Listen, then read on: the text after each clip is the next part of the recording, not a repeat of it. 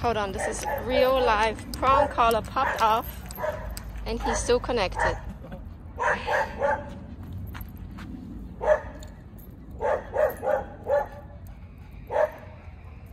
So you didn't lose your dog, huh? Well, you know, it's a, it's a good thing I it's a good thing I have uh, the TGD leash.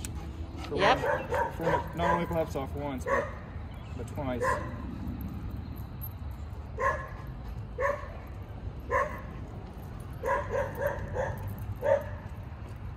Sit. Do you know how to use one of those?